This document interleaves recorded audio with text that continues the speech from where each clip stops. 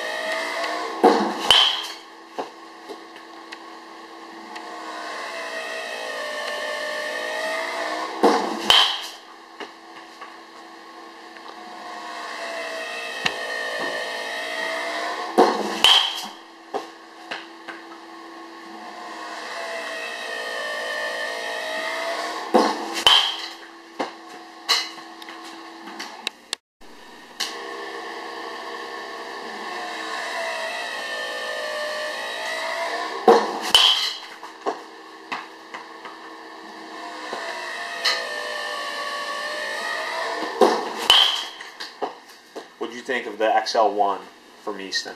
I like it a lot. Longer barrel and has a little end weight to it, so it gets it's more natural feel through the zone, uh, and it's got that little traditional ping to it still, and the ball really drives off the bat very.